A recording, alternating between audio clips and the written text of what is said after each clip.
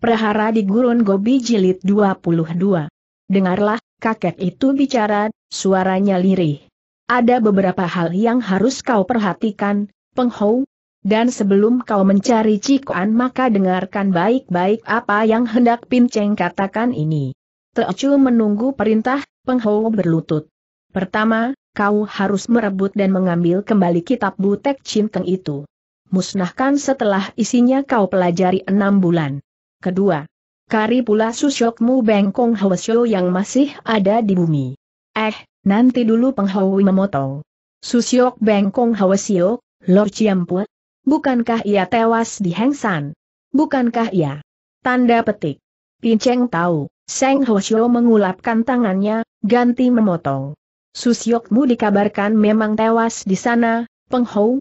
Tapi di alam halus ini Pinceng sama sekali tak melihat rohnya. Ia masih hidup, ia masih ada di bumi. Penghou terkejut dan meremang. Bicara tentang roh dan makhluk-makhluk halus begini membuat dia mengkirik dan merasa seram. Kalau bukan Hwasyo ini yang bicara tentu yang ngeri. Sesungguhnya ia pun juga bicara dengan seorang yang sudah meninggal dunia. Sesepuh. Gobi itu tinggal jasad halusnya saja. Ia bicara dengan orang mati. Namun karena ia tahu Hosyo ini bukan orang jahat dan sepenuhnya ia orang baik-baik, Penghou merasa tenang maka Hosyo itu melanjutkan lagi. Kau cari susyokmu ini dan lihat apa yang terjadi. Cikoan rupanya telah menipu Pinceng masalah gurunya ini dan ia benar-benar anak siluman. Kau waspadalah terhadap guru dan murid ini karena Pinceng harus mengakui bahwa murid Pinceng yang nomor dua ini sesat.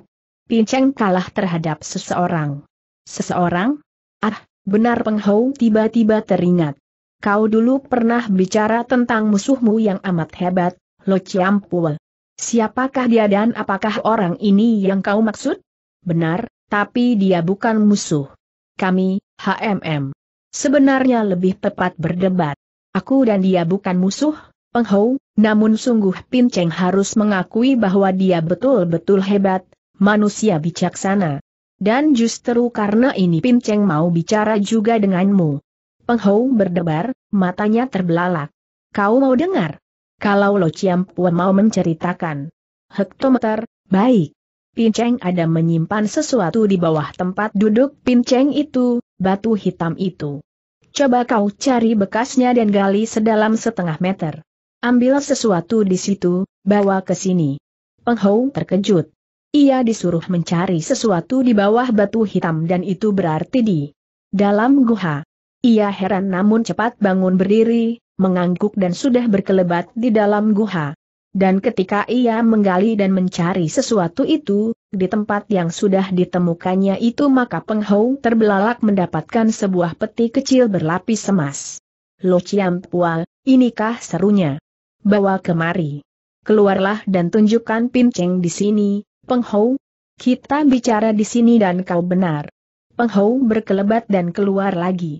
Ia sudah membawa peti kecil berukuran 10 cm itu, ditaruh di telapak tangannya dan cahaya emas di sekeliling kota atau peti kecil ini terpantul cahaya, menyilaukan mata namun Hosyo itu mengangguk sambil tersenyum. Dan ketika Penghou menyerahkan namun Hosyo itu menyuruh membukanya maka pemuda ini tertegun dan berdebar. Bukalah, itu untukmu. Penghou tertarik.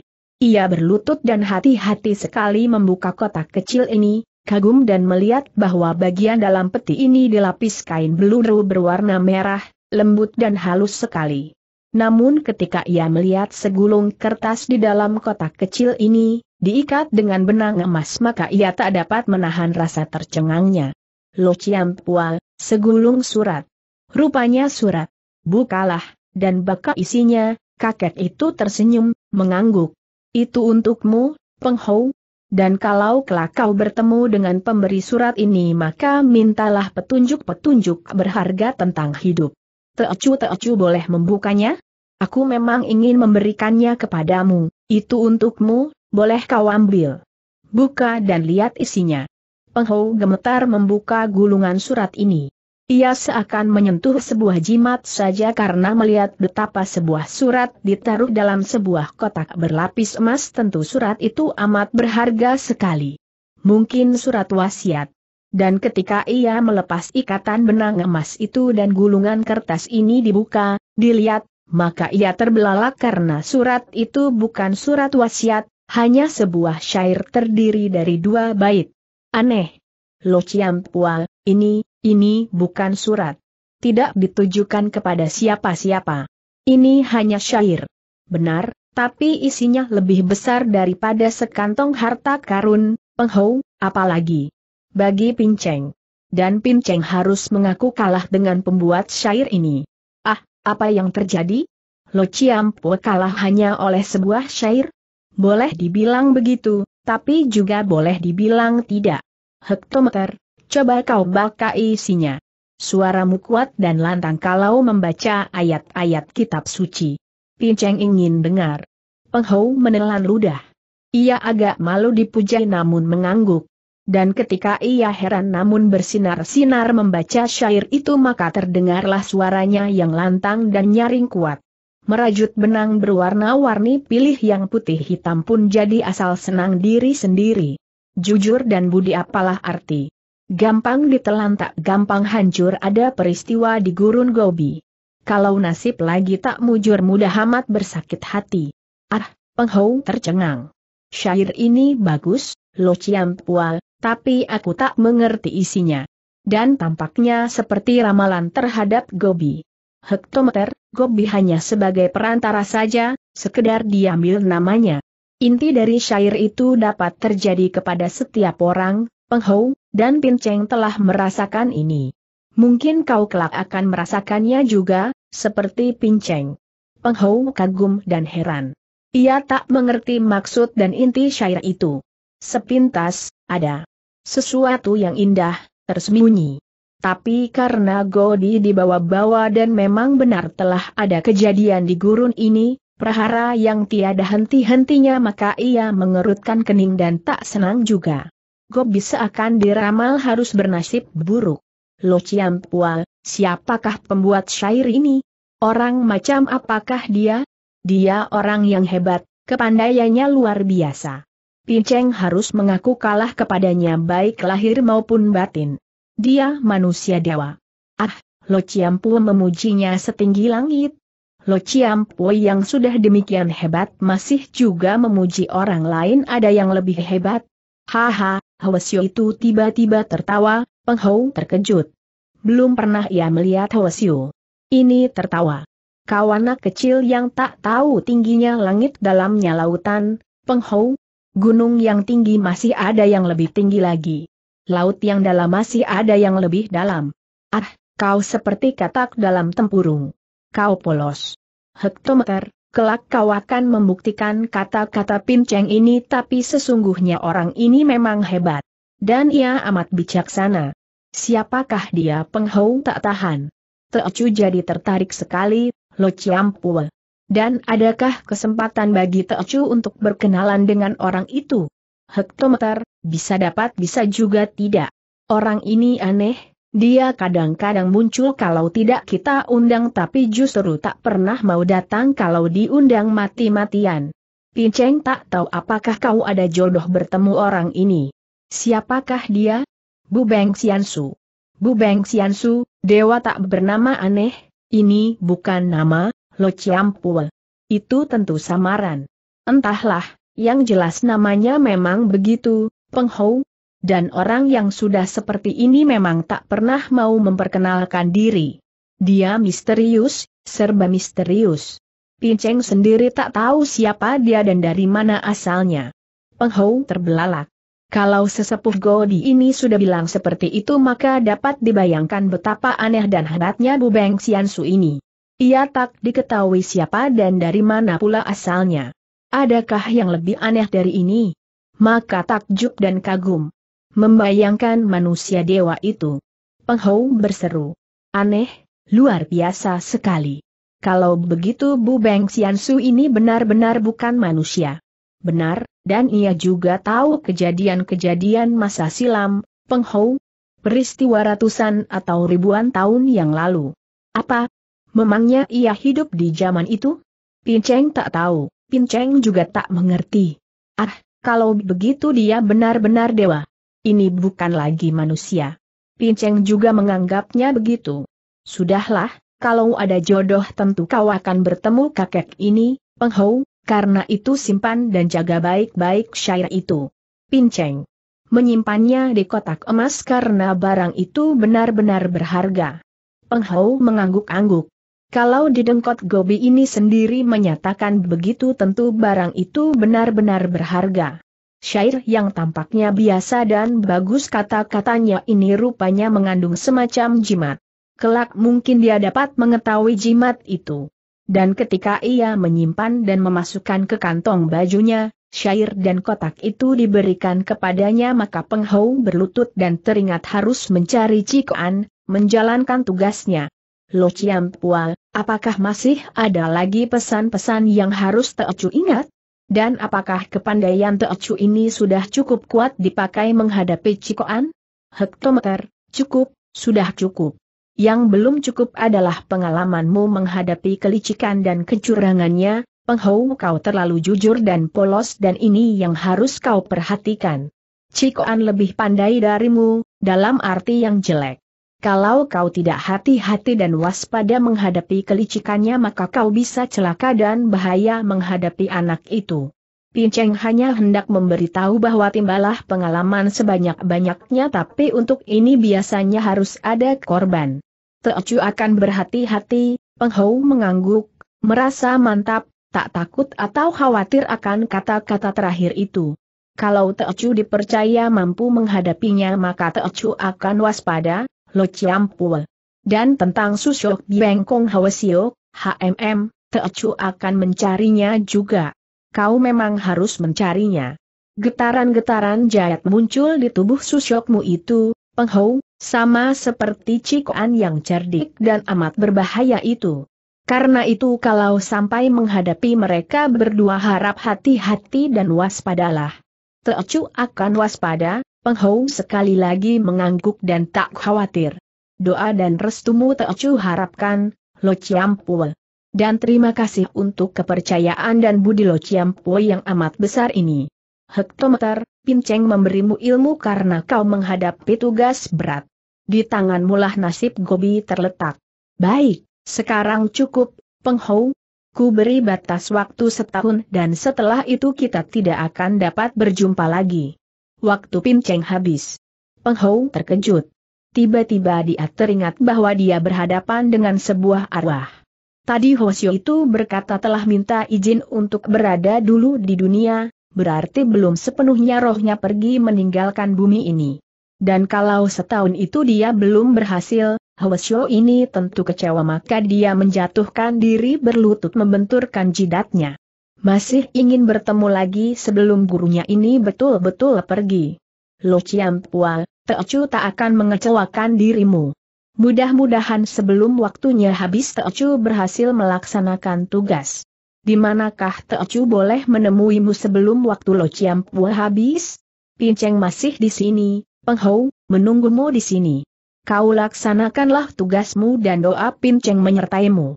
Pergilah, kau murid yang baik. Penghou menarik napas dalam-dalam. Ia terharu dan tiba-tiba menitikan air mata memandang Hosio ini. Kebaikan Hosio ini sudah tak ada bandingannya lagi, ia menerima budi yang terlampau besar. Maka mendekat dan mencium kakek itu, menyentuh jari-jari kakinya mendadak penghau mendengar tawa aneh dan kaki itu pun lenyap. Seng Hosio menghilang. Penghou, Pinceng sudah tak berjasad lagi. Pergilah, laksanakan tugasmu. Penghou sadar. Ia terkejut dan mengangkat mukanya dan gurunya itu benar-benar lenyap tanpa bekas. Yang ada hanyalah tawa dan kata-kata itu yang segera hilang dan tak kedengaran lagi. Dan ketika Penghou berdiri dan mengusap pipinya, air matanya tadi jatuh di situ maka ia membalik dan melangkah. Meninggalkan tempat itu, matanya tiba-tiba sembab. Lo Ciampua, aku akan mencari dan menemukan Cikoan. Akan kurampas kembali kitab butek Cinkeng itu. Selamat tinggal, Lo Ciampua, dan semoga aku sempat menemuimu lagi. Penghou turun bukit dengan kaki gemetar. Ia masih tak dapat menahan keharuan hatinya bahwa Hwasyo itu telah meninggal. Jileng Hwasyo telah meninggalkan ilmu yang amat dahsyat untuknya, Hok Te Sin Kun. Dan bahwa Hwasyo itu juga telah memberikan sinkangnya lewat batu hitam, sinkang yang meresap dan akhirnya disedot tubuhnya maka Penghou menangis dan bercucuran air mata ketika meninggalkan guha pertapaan itu. Setahun berada di sana sudah membuat dirinya berbeda. Ia adalah titisan Jileng Hwasyo yang sakti. Ia tak akan kalah dengan Cikoan maupun Bengkong Hwasyo sendiri, susyoknya. Dan ketika ia menuruni bukit dan memasuki perguruan Godi, daerah di mana anak-anak murid berjaga ternyata Hwasyo dan sute-sutenya berada di situ, menunggu. Penghou, bagaimana kabarnya? Kau tampaknya mendapat pesan dari Supek. Dan kau menangis. Eh, ada apa, Penghou, apakah Supek marah kepadamu Sam Hwasyo? Sute dari Ji Hwasyo berseru pula. Dua Hwasyo ini berada paling depan dan merekalah yang tentu saja lebih dulu menyambut. Penghou terkejut dan sadar. Dan ketika ia menghapus air matanya dan ingat bahwa rahasia gurunya tak boleh diketahui anak murid maka dia menarik napas dan menjura di depan dua orang Hwasyo itu.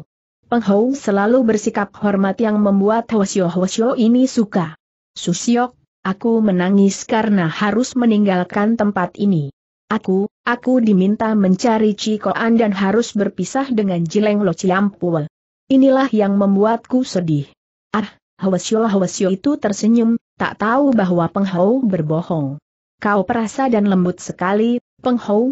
Kalau Supek menyuruhmu pergi justru tandanya kau sudah hebat. Mencari Cikoan adalah hal berbahaya. Benar Sam Hwasyo lagi-lagi berseru, menepuk pundak anak muda ini. Kalau itu yang diperintahkan Supek berarti kebahagiaan besar bagimu, Penghou. Kau sudah mendapat kepercayaan dan bekal yang cukup. Tapi aku harus meninggalkan tempat ini, berarti meninggalkan Susyok pula yang harus berjaga seorang diri. Ah, itu tak perlu dipikir, Penghou. Ada Supek di sini. Kalau kami tak sanggup menghadapi musuh tentu Supek membantu. Dan kau, HMMJ Hwasyo berseri dan kagum memandang anak muda ini. Kau semakin gagah dan tampan, Penghou. Kau tampaknya lebih berotot. Matamu juga seperti mata Supek, mencorong dan seperti mata seekor naga sakti. Haha, benar. Pinceng juga melihat itu namun meskipun mencorong tapi lembut sekali, tidak seperti Cikoan. Ah, Penghou tersipu. Kalian ada-ada saja, Jiwi Susyok. Aku bersedih sedang kalian gembira. Aku, aku mau pamit. Nanti dulu. Kami menghadangmu karena ada perlu. Kami terkejut dan selama ini bertanya-tanya bagaimana sekarang keadaanmu ini, Penghou, dan Pinceng kebetulan ingin menguji. Bentakan dan latihanmu yang dahsyat di guha pertapaan membuat kami semua tercengang, kaget. Sekarang kami ingin menguji dan kau rupanya mendapat warisan sejurus dua ilmu silat tinggi dari Supek. Benar, anak-anak murid lain tiba-tiba bersorak. Kau sekarang tentu lihai sekali, Penghou. Tunjukkanlah kepada kami dan biar kami lihat. Hektometer, Penghou terkejut. Lihai? Lihai apanya? Aku seperti dulu, para suheng. Bodoh dan tidak. Bisa apa-apa. Kalau Jileng Lo Ciampu memberiku sejurus dua memang benar, tapi tak berani aku mengatakan diriku hebat. Aku masih seperti dulu. Tapi kau mampu membuat kami mencelat dari tidur, pagi tadi semua dari kami terlempar. Benar, Penghou? Dan angin pukulanmu yang menderu membuat genteng dan segala apa terbang berjatuhan. Kau sudah menjadi pemuda luar biasa. Penghou semburat. Anak-anak murid memujinya sementara susyoknya nomor tiga, Sam Hosio, sudah menggosok dan memukul-mukul telapak tangannya untuk maju bertanding. Dia akan diuji. Dan ketika dia mundur dan menggeleng berulang-ulang, tak tahu bahwa selama berbulan-bulan ini para anak murid dan susyoknya menyimpan kekaguman, Tadi pagi mereka tersentak dan kaget oleh bentakannya yang dahsyat maka Sam Hwasyo sudah bergerak dan melepas pukulan, menerjangnya. Penghou, aku dan semua orang ingin tahu. Kau layanilah aku sebentar dan perlihatkan kepandaianmu. Penghou mengelak dan terbelalak.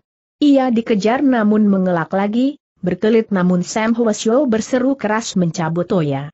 Dan ketika dengan senjata itu ia sudah diserang dengan amat cepat dan bertubi-tubi, Toya menderu dan bergerak menyambar-nyambar maka ia sudah menghadapi silat Toya yang kuat dari susyoknya ini, apa boleh buat menangkis dan penghou yang belum dapat mengira-ngira tenaganya tiba-tiba membuat kejutan besar.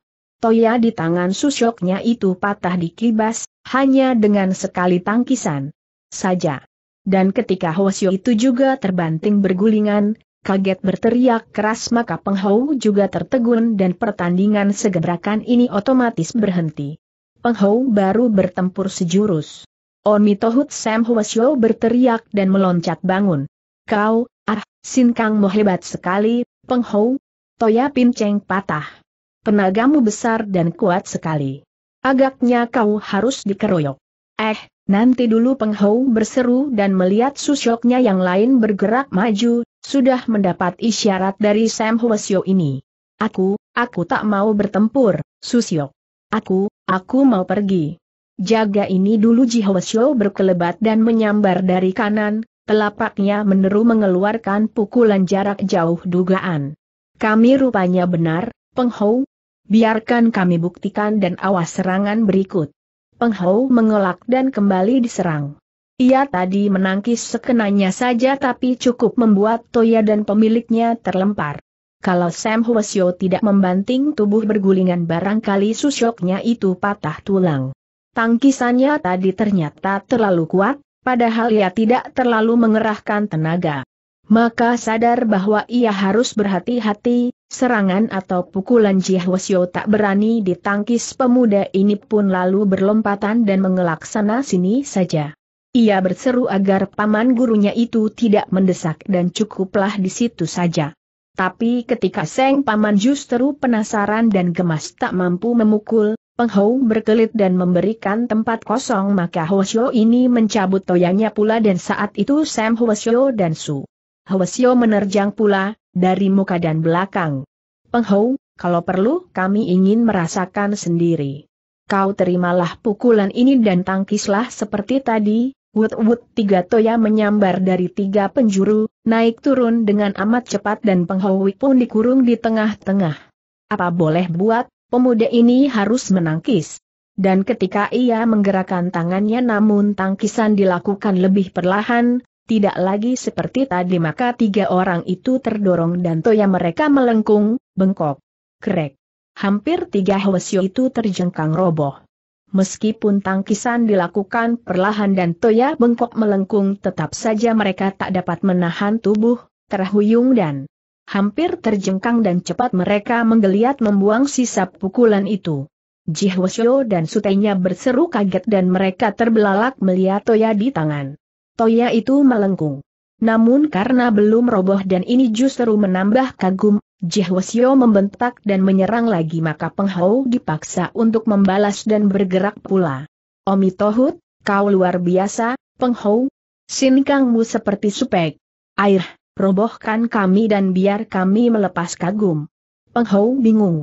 Ia disuruh membalas dan tidak mungkin berlompatan saja, para murid mulai bersorak dan keroyokan itu rupanya membuat gembira. Dan ketika ia benar-benar dikepung dan Toya sambar menyambar mau tak mau ia harus menerobos keluar maka Peng. Hou berseru keras dan mengibas sambil menambah tenaganya.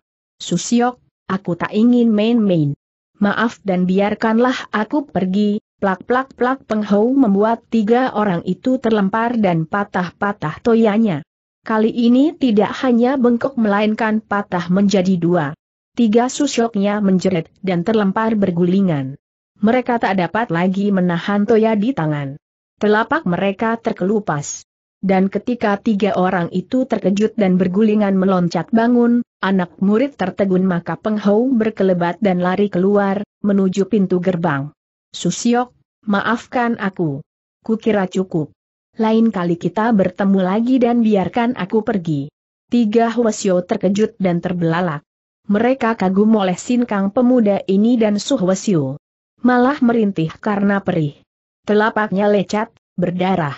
Namun ketika Jihwasyo bergerak dan berseru mengejar, Sam Hosyo juga menyusul dan anak-anak murid bersorak maka penghau diminta berhenti namun pemua itu sudah berada di pintu gerbang siap membuka gelang baja.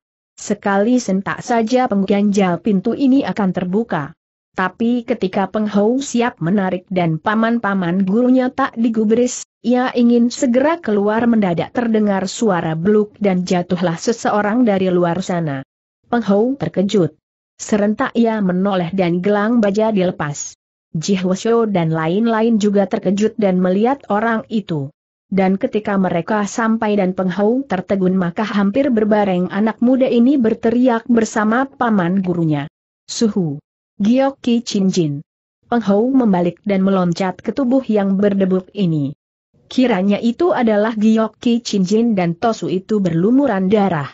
Baju dan pakaiannya basah berwarna merah. Dan ketika penghau berseru tertahan sementara Ji Hosyo dan lain-lain tiba di situ maka Tosu ini mengerang sementara penghau sudah mengangkat bangun tubuhnya. Suhu, apa, apa artinya ini? Ada apa dengan kau? Aku, oh, ahaha, Pintu, uhuhaha, Pincel bertemu Cikoan dan tujuh siluman langit, penghau, Pintu, Pincel dilukai anak itu. Uhuhaha Giok Ki Cinjin batuk-batuk dan sukar bicara. Tosu ini luka berat dan tadi ia meloncat naik ke pintu gebang, terjun dan terbanting di situ karena pintu tertutup. Ia luka-luka dan ingin masuk. Dan ketika penghau terkejut namun cepat menotok dan memberikan pertolongan, Jihwasyo juga mencejalkan obat maka Tosu ini megap-megap dan menuding-nuding. Dia, mereka, muncul lagi. Ah, anak siluman itu hebat bukan main, penghau, dia, dia sekarang semakin lihai. Pintu. Pintu. Suhu tak perlu bicara, penghau menekan dan mengusap dada kakek ini, khawatir. Kau luka dalam, suhu, lukamu berat. Mari masuk dan biar ku tolong di dalam. Benar, Jihwasyo berseru dan juga mengangguk. Kakek ini luka berat, penghau. Ia kehabisan darah dan tenaga.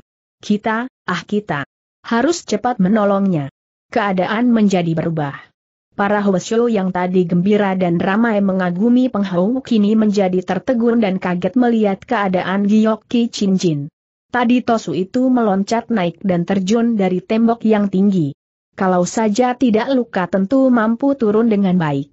Tapi karena dia luka dan darah demikian banyak membasahi tubuhnya, Hal ini jelas berbahaya maka ketika berdebuk dan terbanting di tanah keras Tosu itu pun kontan semakin parah.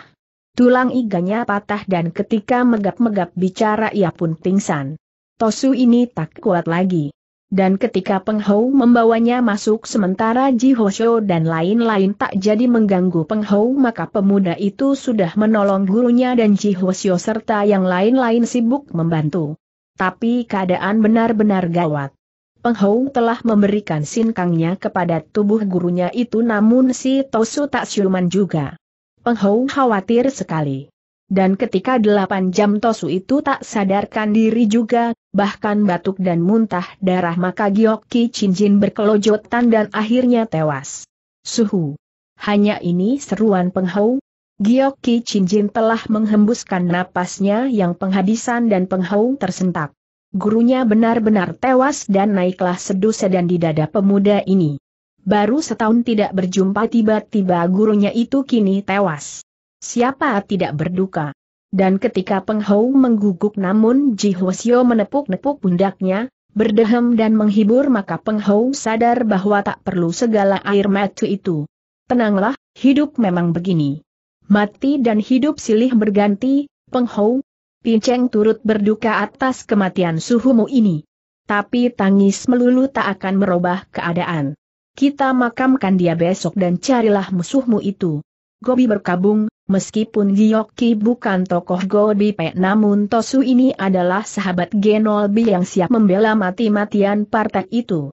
Teringat jelas di benak setiap orang betapa Tosu ini berkali-kali membela Gobi, bahkan, hampir terbunuh oleh musuh-musuh Gobi yang lihai. Maka ketika dia tewas dan kematiannya justru di Gobi, sahabat yang tak mungkin membiarkannya begitu saja maka Gobi menyembahyangi arwahnya dan untuk kesekian kalinya lagi Gobi memakamkan seorang gagah di tempat mereka. Peng Hou tak dapat banyak bicara dan ia benar-benar terpukul.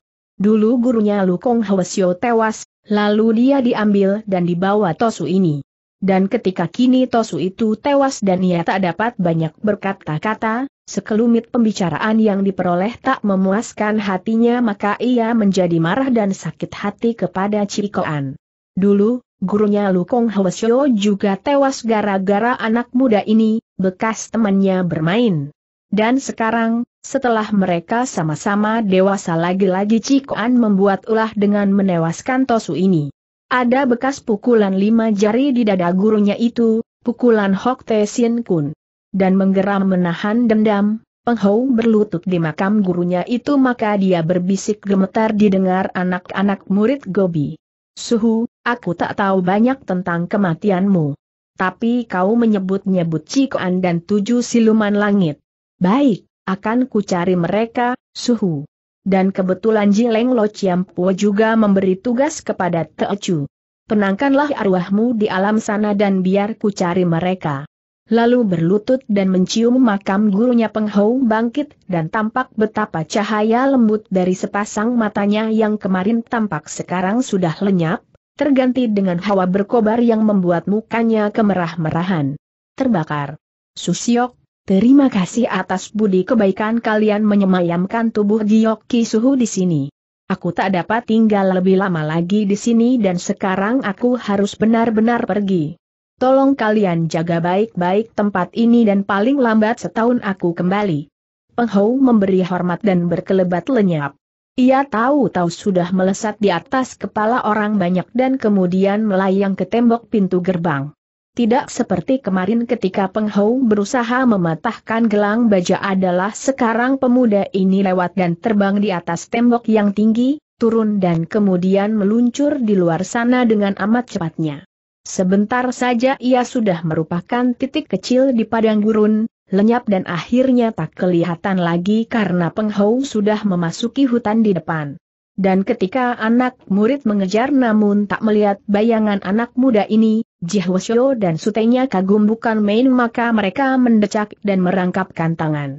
Omi Tohut, semoga kau berhasil, Penghou. Pinceng mendoakanmu dari jauh. Benar, Pinceng juga, Penghou. Semoga kau berhasil melaksanakan tugas dan kembalilah ke sini.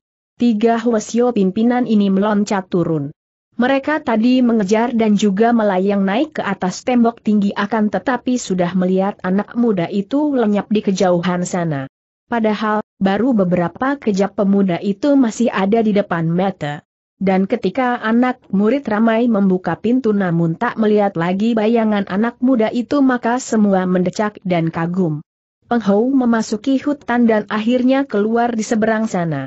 Cepat sekali gerakannya bagai siluman menyambar. Siapa pun tentu terkejut dan kaget melihat bayangannya, karena begitu menyambar ia pun sudah melesat dan jauh di depan sana seperti iblis. Dan ketika penghau meluncur dan meninggalkan hutan, sinkang di tubuhnya telah memberinya tenaga sedemikian besar hingga mampu bergerak puluhan meter sekali loncatan, jauh di atas kecepatan seekor Garuda menyambar maka pemuda ini tak sadar bahwa ia telah benar-benar menjadi seorang pemuda sakti. Penghou tiada ubahnya Jileng Hwasyo sendiri karena sinkang atau tenaga sakti Hwasyo itu telah diserapnya. Dedengkot Gobi ini telah rela mengorbankan diri demi anak muda ini, memberikan seluruh sinkangnya lewat batu hitam yang sekian tahun dipakainya bertapa. Siapa pun tak menyangka bahwa Penghou benar-benar berubah.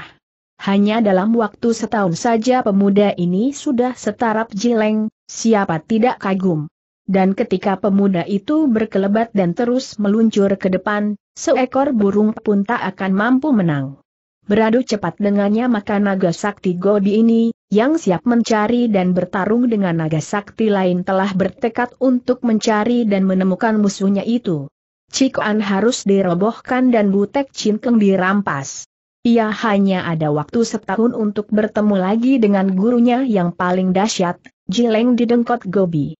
Dan karena kematian Giyokki membuat penghau panas terbakar, ia marah kepada pemuda itu maka kemarahan ini merupakan tenaga tambahan baginya. Dusun dan kota dilewati begitu cepat. Peng Hou menyambar dan lenyap di antara sekelompok orang yang terkejut, mengucek mata dan melihat namun tak ada siapa-siapa di depan. Tadi mereka merasa sambaran angin namun setelah itu lenyap.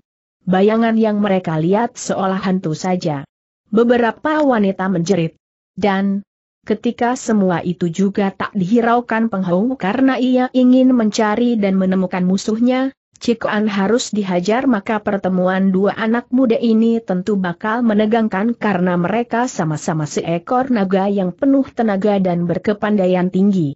Penghou boleh kurang dalam keragaman ilmu namun dia memiliki kelebihan dengan Sin Leong Kangnya itu. Sin Kang Naga Sakti ini, kalau lepas kontrol akan kembali terlihat bila penghau mendengus-dengus.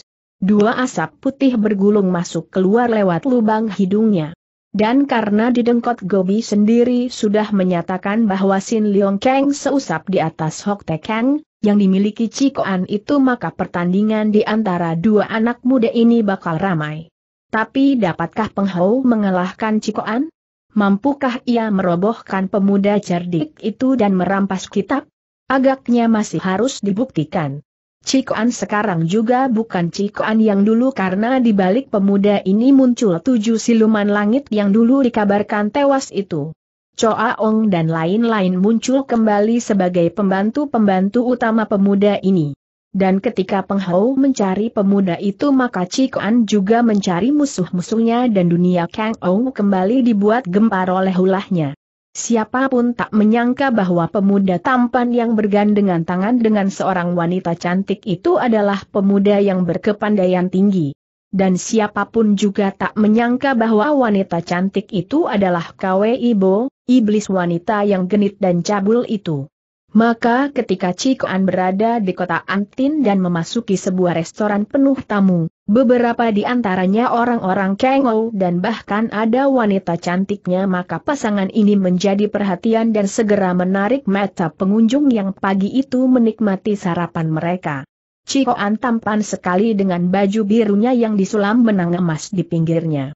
Celana putihnya agak longgar dan kalau dia berjalan maka debu dan apa saja bakal berhamburan, termasuk ketika dia memasuki rumah makan Toh Pekoan dan berjalan menuju ke tengah ruangan, membuat para tamu yang sedang makan di bagian depan terbelalak dan marah karena entah bagaimana tahu-tahu kertas dan kulit pisang mencelat dan memasuki piring mereka, yang sedang disantap. Dan ketika Kwe Ibo terkekeh, kekeh dan juga tak menghiraukan itu, lengannya erat menggandeng lengan pemuda ini maka seorang tamu berteriak dan bangkit dari kursinya. Hi, anak muda! Butakah matamu? Berjalanlah yang baik dan jangan biarkan ujung celanamu menghambur-hamburkan debu. Benar, tamu yang lain berseru dan bangkit berdiri pula. Manusia busuk dari mana ini yang berani kurang ajar memasuki makananku dengan kulit pisang? Hi, perhatikan langkahmu itu, anak muda debu dan segalanya berhamburan kau sepak. Haha, Cikoan tertawa-tawa dan sudah mendapatkan kursinya, di tengah, tak peduli. Kita makan di sini, Kwe Ichi.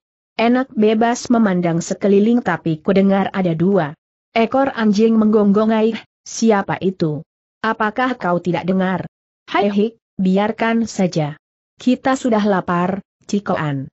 Aku tak peduli dan biar lalat atau kecoa-kecoa busuk memasuki mulut mereka. Haha, begitukah? Kau senang melihat lalat memasuki mulut anjing? Ih, ada-ada sepasang, biar ku kebut Cikoan menggerakkan lengan baju dan sepasang lalat hijau terkibas. Lalat itu mendengung lalu tahu-tahu menyambar ke kiri kanan yang satu ke arah laki-laki tinggi besar berwajah merah sedangkan yang lain ke mulut orang kedua yang tadi memaki-maki Cikoan. Sepintas, kebutan ini seperti mengusir lalat benar-benar. Tapi ketika lalat itu menyambar dan memasuki mulut dua orang itu, yang tentu saja berteriak dan melompat-lompat maka suasana rumah makan yang tadi tenang dan sejuk sekonyong-konyong menjadi gaduh dan hingar. Hei, i, auf, uff, auf. Dua laki-laki itu tersentak. Mereka sungguh tak menyangka dan tadi ketika melihat dua lalat hijau mereka sudah mengelak.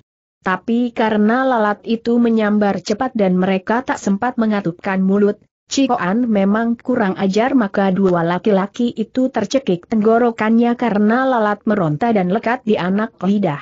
Akibatnya mereka mendelik dan hampir berbareng keduanya muntah-muntah. Kotoran dan lalat itu keluar, mati. Tapi karena ini membuat jijik pengunjung lain, yang sedang makan maka tiga wanita muntah-muntah dan ikut-ikutan mengeluarkan sisa makanan mereka. Rumah makan itu ribut. Haha, selera makan jadi terganggu. Ah, ada orang makan lalat. Hei, kita pindah ke pojok, KWI Cici, di situ kita bebas dan mari memesan makanan. Cikoan bangkit dan geli juga melihat dua laki-laki itu hoak hoak. Ia telah mengebut dua ekor lalat tadi hingga langsung menyambar batang tenggorok, menancap dan tak akan keluar kalau dua laki-laki itu tidak memuntahkannya. Dan ketika benar saja mereka batuk-batuk dan muntah-muntah, pengunjung lain menjadi jijik dan terganggu maka cepat-cepat mereka memalingkan muka dan bagi yang sudah selesai lalu buru-buru membayar dan pergi. Cikoan tertawa dan melihat pemilik dan pelayan restoran menjadi kalang kabut. Tiga pelayan bergegas mengambil sapu dan pasir membersihkan muntahan itu, yang lain menggosok dan berseru berulang-ulang agar dua tamu mereka itu jangan muntah lagi. Air putih diberikan untuk penawar. Dan ketika akhirnya mereka menggigil dan mengusap mulut, melotot memandang Cikoan yang sudah berpindah tempat maka yang muka merah, dengan pedang di punggung langsung melompat dan mencabut pedangnya. Tahu bahwa anak muda itu memang sengaja berkurang ajar. Bocah siluman, kau tak tahu adat. Biarpun cicimu cantik tapi aku bukan laki-laki murahan yang akan dapat kasuap dengan encimu. Mampuslah, terima pedangku. Cikoan tertawa lebar. Ia sedang memilih masakan dari buku di atas meja, tak tahu atau barangkali tak peduli tusukan itu, yang menuju pangkal lengan kirinya. Dan ketika laki-laki itu tertegun karena lawan tak berkelit duduk tenang membaca buku masakan maka ia hendak menahan namun terlanjur marah dan justru menambah tenaganya. Krek. Pedang itu yang patah. Cikoan sekarang menoleh dan kagetlah laki-laki ini melihat pandang mencorong dari lawannya. Cikoan mendengus. Dan ketika ia terhuyung mundur namun Cikoan memberi tanda, Kwe Ibo bergerak dan melecutkan rambutnya maka robohlah laki-laki itu dengan kepala pecah. Gemparlah rumah makan ini. Sekarang semua tahu bahwa pemuda dan wanita cantik itu kiranya adalah orang-orang ganas. Sekali gebrakan saja mereka telah membunuh orang. Dan ketika Kwe Ibo terkekeh dan menyepak bagai kuda, mayat itu terlempar maka laki-laki. Kedua yang juga maju dan hendak menyerang tiba-tiba memutar tubuhnya dan lari. Iblis. Siluman. Ada orang-orang kejam. Hai hik, Kau mau ke mana Kwe Ibo berseru dan mengambil sumpit di atas meja. Kau pun memaki-maki temanku, tikus busuk. Terimalah dan mampuslah. Sumpit menyambar dengan kecepatan kilat. Laki-laki itu baru saja melangkah keluar pintu ketika tiba-tiba tersentak dan kaget, tubuhnya berhenti mendadak dan sekonyong-konyong ia pun roboh, berteriak setelah sadar. Sumpit menancap di punggungnya sampai tembus. Tapi ketika ia terjerembab dan teriakan itu mengguncangkan para tamu, semua kaget maka laki-laki itu tewas menyusul orang pertama. Berlarianlah semua orang keluar. Setelah dua jiwa melayang di situ maka orang-orang pun panik. Mereka mendorong kursi dan berserabutan mencari selamat. Pemilik rumah makan bahkan ngumpet di susul pelayan-pelayannya. Ruangan tiba-tiba kosong, kecuali terisi oleh Cikoan dan Kwe Ibo serta tiga orang wanita dan seorang laki-laki gagah lain, yang duduk di sudut dan mereka inilah yang terbelalak dan merah mukanya, bukan takut melainkan marah. Dan ketika semua berlarian, namun mereka bangkit berdiri, satu di antara tiga wanita itu membentak dan berkelebat ke depan maka pedang di tangannya menusuk leher Kwe Ibo. Siluman betina, kau kejam dan telengas. Terimalah, kau pun harus mampus. Kwe Ibo terkejut namun terkekeh. Dia melihat memang empat orang inilah yang sama sekali tidak bergerak keluar rumah makan. Bau harum menyambar disusul kilatan sinar pedang yang menusuk leher. Tapi karena wanita ini bukan wanita biasa dan KWI Bo miringkan tubuh sambil menggerakkan rambut maka senjata hitam panjang itu menjeletar dan tak kalah mengeluarkan bau harumnya. Plak! Wanita itu terhuyung dan mundur setindak. Penaga lecutan menangkis pedangnya dan ia pun tergetar, marah membelalakan mata dan sama sekali tidak menunjukkan rasa takut. Tapi ketika ia hendak menyerang lagi dan maju dengan pedang diangkat tiba-tiba kedua temannya sudah mencekal lengannya dan berseru. Samoy, sabar. Kita rupanya berhadapan bukan saja seorang iblis kejam melainkan lawan yang berkepandaian tinggi. Mundurlah, kita tanya mereka dan nanti dihajar bersama-sama. Benar, laki-laki di belakang berseru, ia pun sudah berkelebat dan berada di belakang wanita-wanita ini, yang cantik dan rata-rata berusia tiga puluhan tahun. Mereka lihai dan berkepandaian, Hong Tong Sam Liap, tiga pendekar wanita dari Hong Tong. Hati-hati dan jangan gegabah.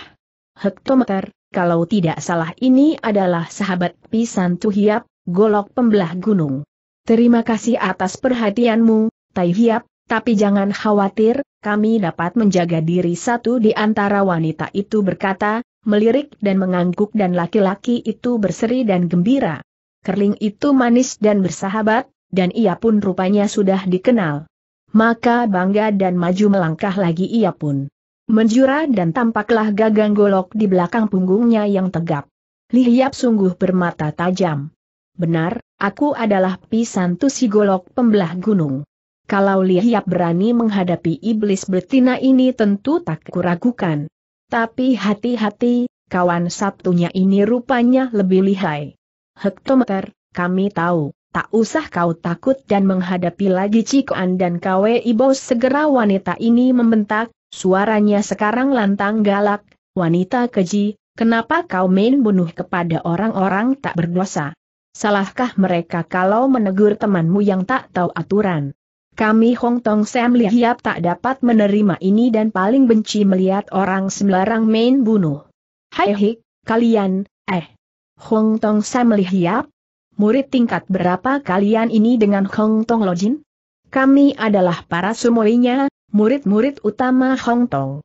Ah, sumoi dari tua bangka Hong Tong Lojin? Bagus, tentu kalian liai, bocah-bocah, tapi jangan kalian kira aku undur menghadapi kalian. Biarpun ketua Hong Tong sendiri aku tak takut. Hayo, majulah, kita main-main sebentar Kwe Ibo meledakan rambutnya dua kali, nyaring menjeletar sementara Cikoan tersenyum dan berseri-seri.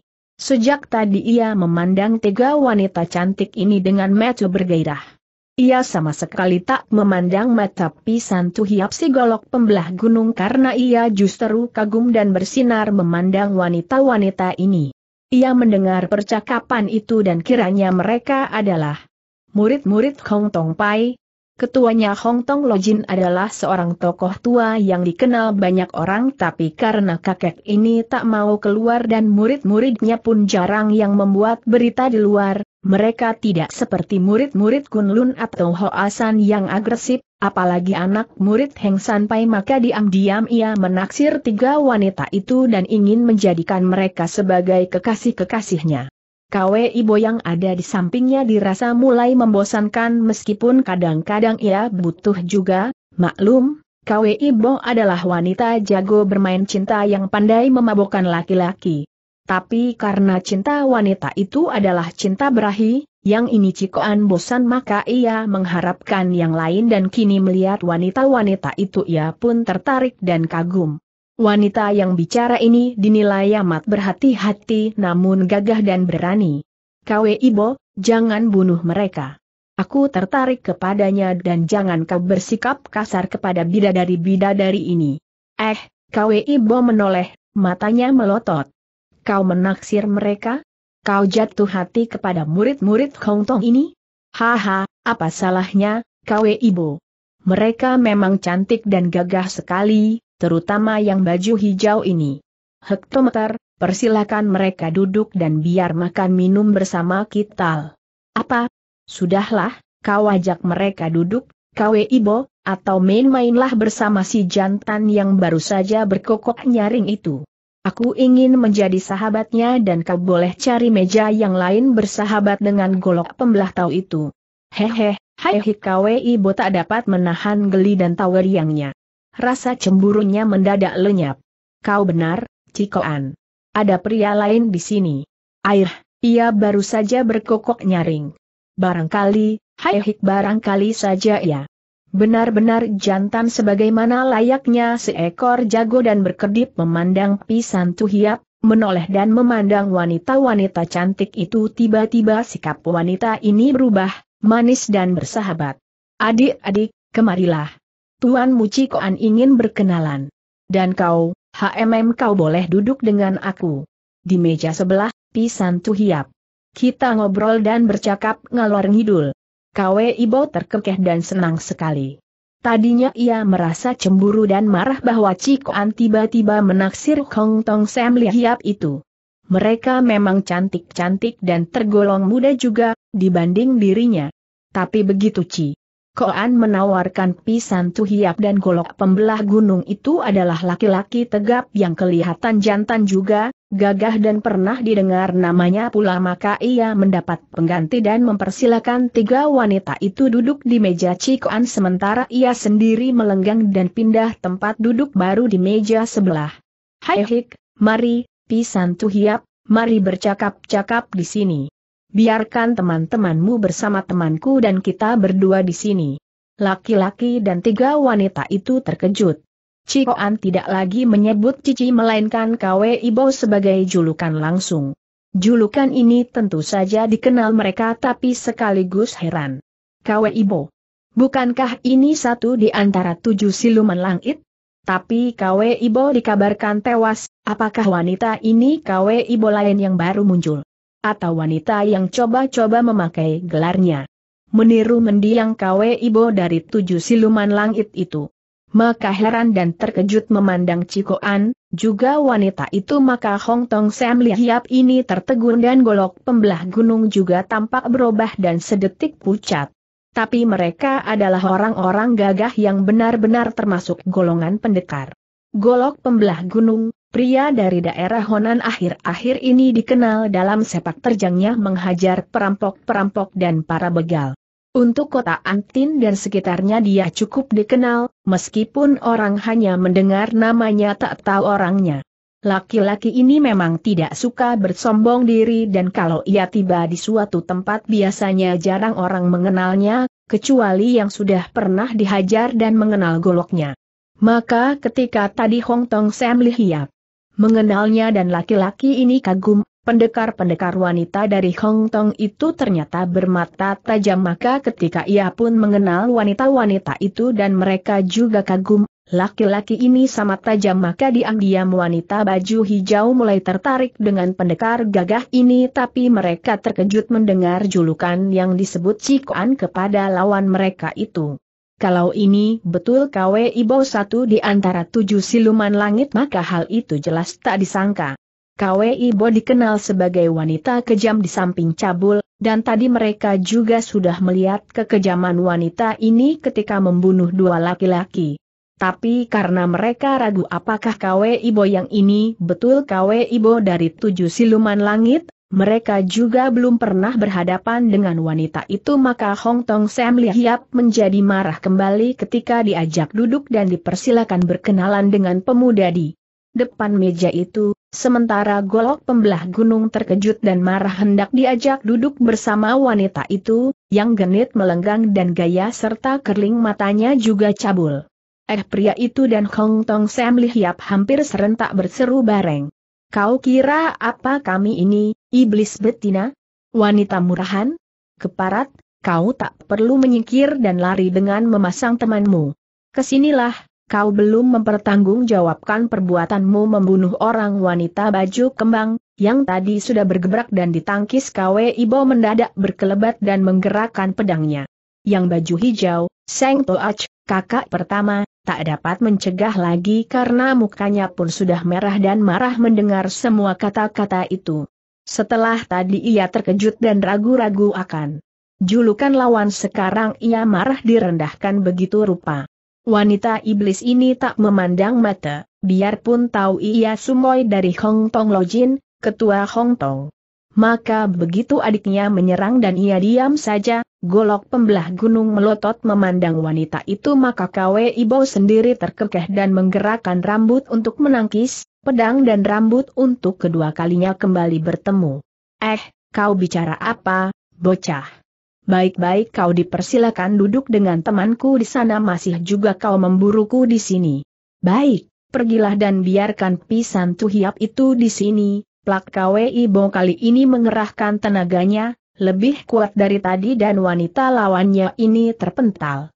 Wanita itu memekik karena kalau ia tidak melempar tubuh berjungkir balik tentu ia bakal terbanting.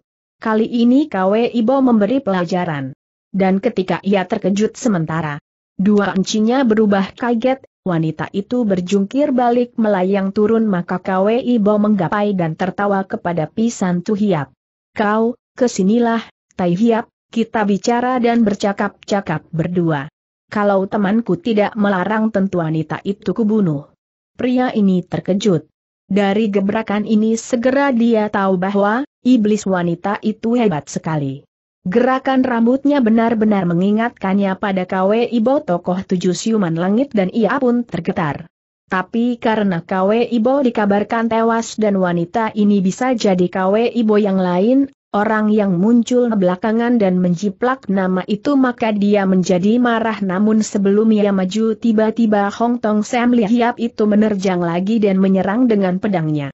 Dua kali gebrakan ini membuat wanita itu marah besar dan sekali membentak panjang ia sudah maju. Menyerang lagi. Pedang di tangan diputar hebat dan dua encinya meloncat dan berjaga-jaga. Agaknya, kalau adik mereka ini tak kuat melawan musuh mereka pun akan maju mengeroyok. Mereka sama sekali tak menghiraukan Cikoan dan pemuda itu menjadi mendongkol. Namun karena temannya sudah diserang dan ia juga ingin melihat permainan pedang wanita Hong Tong ini, Cikoan tersenyum dan mengetuk-ngetuk permukaan meja maka di sana Kwe Ibo meloncat bangun dan berkelebatan melayani lawan. Wanita ini terkekeh-kekeh dan kursi pun disambar, dipakai untuk menangkis dan bunyi krak-krak disusul mencelatnya potongan-potongan kayu. Kursi itu patah-patah, putus dibacok pedang, tapi ketika KW Ibo melempar kursi yang hancur ini dan bergerak naik turun. Rambut menjeletar dan tangan kiri atau kanan melepas pukulan-pukulan singkang maka lawannya terhuyung dan pedang tertolak oleh pukulan atau rambut wanita ini. Hai hik, Bagaimana, Cikoan? Apakah tak boleh aku membunuh wanita ini? Ia menggangguku, patut dihajar. Haha, jangan. Kau main-main saja melepas keringat, kawe ibu. Dorong dan suruh dia mundur sampai tahu kelihayanmu. Aku tertarik kepada mereka dan biar mereka tahu siapa kita. Ah, begitukah? Baik, tapi kalau kulit lecet sedikit, jangan menyalahkan aku karena aku pun harus membalas, tar dan rambut yang meledak di tengah antara pukulan tiba-tiba mengenai pangkal lengan wanita itu hingga lawan terhuyung, memekik dan kesakitan dan pangkal lengan murid Hong Tong ini berdarah. Ia kena disabet. Dan ketika dua encinya terkejut karena sebentar kemudian adik mereka itu sudah terdesak dan menggigil pedangnya, Dua kali hampir terlepas menerima tangkisan KW Ibo maka yang baju ungu tiba-tiba berseru keras dan menerjang membantu adiknya itu, Seng kakak yang berbaju hijau mulai ragu bahwa jangan-jangan wanita ini adalah benar-benar KW Ibo tokoh tujuh siluman langit. Samoy, jangan takut. Aku datang membantu. KW Ibo segera dikeroyok. Wanita itu terkekeh dan mengelak sana sini sambil meledakkan rambut. Ia terus menambah tenaganya hingga si baju kembang terkejut, dua kali hampir melepaskan pedang karena telapak tangan terasa perih dan lecet. Kalau yang baju ungu tak datang membantu mungkin ia benar-benar bakal melepaskan senjata, pedang itu hampir tak kuat ditahan. Maka ketika encinya nomor dua ini membentak sementara encinya baju hijau menonton dengan muka khawatir, cemas bahwa itu benar-benar KW Ibo yang amat jahat maka dua wanita itu sudah mengeroyok lawan dan adiknya bangkit semangatnya dibantu Seng Enci. KW Ibo tertawa dan mempercepat gerakan tubuhnya. Setelah dia tahu bahwa lawan-lawannya ini adalah para sumoy dari Hong Tong Lojin tentu saja ia harus berhati-hati. Kekeh dan tawanya sebenarnya pulasan saja, karena ia pun tak berani memandang enteng kecuali satu lawan satu. Tapi karena yakin bahwa ia tentu dikeroyok, kalau begini ia harus bekerja keras maka rambutnya menjeletar. Jeletar sementara pukulan tangannya silih berganti menghalau lawan. Cikoan, bagaimana ini? Apakah aku tak boleh bersikap keras? Hektometer, jangan. Mereka akan roboh di tanganmu, kawe ibu. Biarkan semua maju dan lihat kepandaianmu. Jangan bersikap keras, lecutan rambutmu sudah terlalu kuat dan tak perlu kau khawatir Cikoan tertawa, berseru sambil terus mengagumi wanita-wanita itu dengan mulut mendecak-decak. Pemuda ini kagum bukan kepada permainan pedang melainkan lekuk-liku wanita-wanita itu. Setelah mereka bergerak dan menyerang tampaklah segala tonjolan-tonjolan. Pinggul dan buah dada mereka bergerak-gerak, apalagi setelah mereka mulai berkeringat dan basah. Pakaian itu mencetak tubuh dan lekuk-liku ini tak dapat disembunyikan. Kwe Ibo juga berkeringat. Namun bagi Cikoan murid-murid Hong Tong itu lebih menarik. Mereka adalah barang baru dan yang baru selalu lebih segar, ini bagi laki-laki bermata keranjang. Maka ketika mereka mengeroyok namun Kwe Ibo dapat menghalau dan meledak-ledakan rambutnya, lawan penasaran dan memperhebat serangan namun justru terpental dan terpekik bertemu tenaga Kwe Ibo maka dua murid Hong Tong itu pucat dan mereka mulai sadar bahwa dikeroyok dua masih belum cukup. Toachi, bantu kami. Kami ingin cepat-cepat merobohkan wanita siluman ini. Hektometer, kalian tak tahan Sang Toachi meraba gagang pedang dan siap meloncat, melihat bahwa dua saudaranya sering terpental. Baik, kita hajar siluman betina ini, Jimoi, adik kedua. Dan tak perlu malu karena sesungguhnya kita juga sering maju. Berbareng, singgah pedang berkilau mengeluarkan sinarnya yang panjang, melesat dari sarung pedang dan wanita itu sudah bergerak menyambar bagai seekor burung walet, cepat dan lebih kuat daripada dua adiknya dan Kwe Ibo terkejut melihat ini. Ia sedang diserang dari kiri kanan dan tiba-tiba ia melengking marah.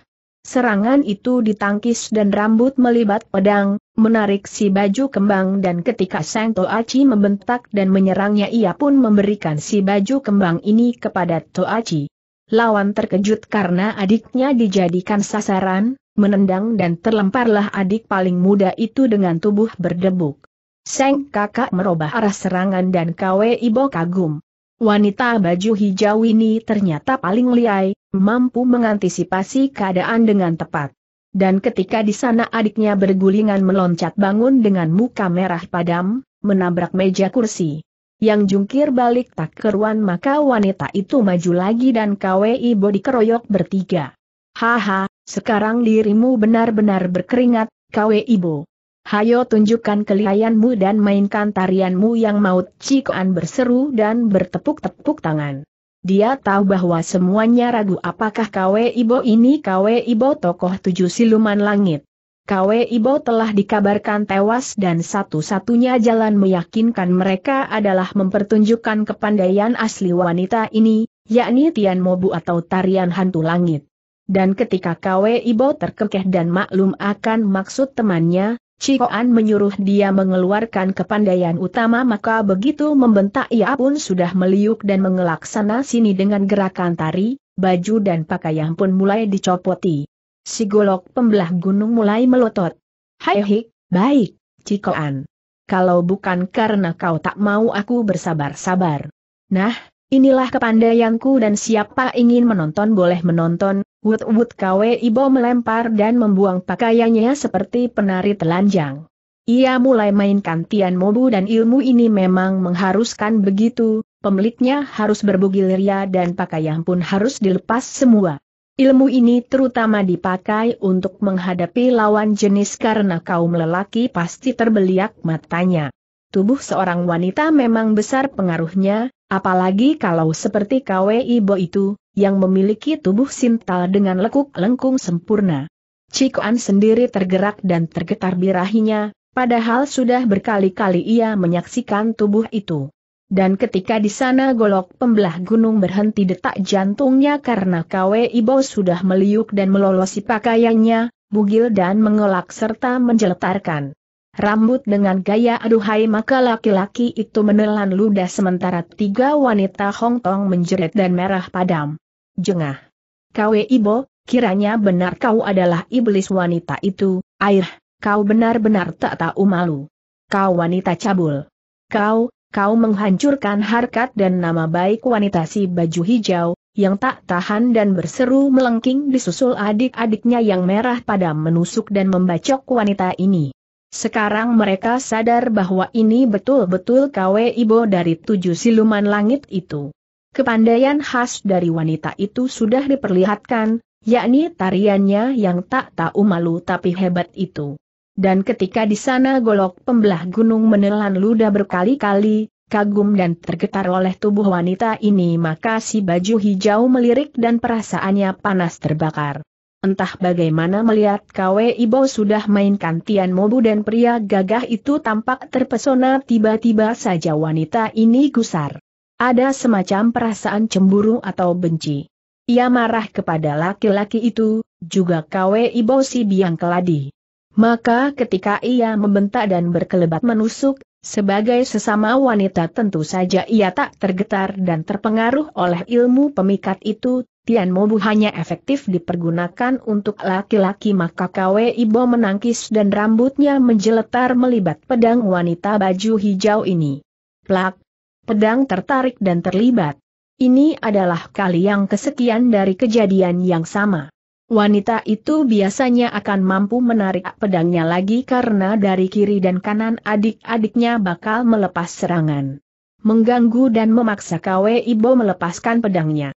Dan ketika benar saja dua wanita lain menyerang Kwe Ibo namun wanita baju hijau ini tidak menarik melainkan meneruskan gerakannya menusuk, Kwe Ibo terkejut maka wanita itu mengelak ke belakang dan otomatis belitan rambutnya pun tertarik dan ia menjadi marah karena lawan terus maju dan merangsek. Keparat wanita itu membentak dan menendang. Ia menampar dengan tangan kirinya hingga pedang terpukul, balik mengejutkan lawan namun tiba-tiba wanita itu menggerakkan tangan kirinya pula menghantam wajah Kwe Ibo, jarak begitu dekat. Dan ketika Kwe Ibo menggerakkan tangan kanannya menyambut pukulan itu, kaki mengenai gagang pedang maka pedang mencelat tapi tangan kiri wanita itu mencengkeram dan membetot tangan kanan Kwe Ibo, kuat sekali. Krek. Kwe Ibo terbelalak. Ia tertangkap dan mereka saling cengkeram, saat itu wanita baju hijau berteriak pada adik-adiknya untuk menyerang Kwe Ibo, hal yang membuat wanita ini marah. Dan ketika benar saja dua wanita itu menusuk dan ia tak mungkin mengelak, tubuhnya ditahan oleh jari-jari wanita ini maka Kwe Ibo menggerakkan rambutnya dan pedang kedua diterima dengan pengerahan sinkangnya, dan saat itu masuklah enam bayangan lain berturut-turut. Plak RRTDS. Wanita baju kembang mengeluh dan terbanting. Ia didahului rambut yang tepat menyambar pundaknya, roboh terlempar sementara encinya nomor dua terkejut membacok tubuh Kwe Ibo yang alot, yang melindungi dirinya dengan sinkang dan saat itu Toacinya membentak dan mendorong lawan. Kwe Ibo terdorong namun saat itu kakinya mencuat menyambar kakaknya, tepat mengenai dagu dan terjengkanglah encinya yang tak menyangka tendangan ini. Dan ketika dua orang roboh sementara dia tertegun, Kwe Ibo terhuyung melotot padanya maka seorang kakek berkalung ular terkekeh dan tahu-tahu menotok punggungnya. Hehe, main-main apa ini, Kwe Ibo? Kenapa ayal-ayalan dan membiarkan diri dipukul anak-anak ingusan? Plak wanita itu pun roboh menyusul saudara-saudaranya, berteriak. Tertahan dan kakek berkalung ular itu bergerak dan hendak menginjak tubuhnya. Tapi ketika Cikoan berseru dan mengangkat tangannya, mencegah, maka kakek itu membatalkan injakannya dan lima orang lain sudah berada di dalam restoran itu, bagai iblis-iblis gentayangan. Choaong, jangan bekuar seenak perutmu. Kalau Cikoan tidak melarangku tentu pukulanku yang keras akan membunuh murid-murid Hong Tong ini. Ah, murid-murid Hong Tong. Bagus, tapi mereka berhasil merepotkanmu juga. Mereka sumoy-sumoy dari Hong Tong Lojin. Tutup mulutmu kalau mengira aku lemah menghadapi mereka. Haha, KWI Bo sudah naik darahnya. Sudahlah, aku tak bermaksud merendahkanmu, KWI Bo, hanya tadi heran mengapa kau bersikap lunak dan tidak seperti biasanya. Tak taunya bahwa murid kita Cikoan ini yang menyuruh dan membalik menghadapi kawan-kawannya yang lain kakek berkalung ular itu berseru, kawan-kawan, kita sudah berkumpul dan lengkap di sini. Mari duduk dan dengarkan apa kata murid kita Cikoan ini. Golok pembelah gunung terkejut dan pucat. Ia sudah melihat tujuh orang berkumpul di situ dan pemuda yang masih tenang dengan wajahnya yang berseri-seri itu kelihatan mengangguk dan gembira. Tiba-tiba ia pucat karena tujuh siluman hidup lagi, muncul di situ.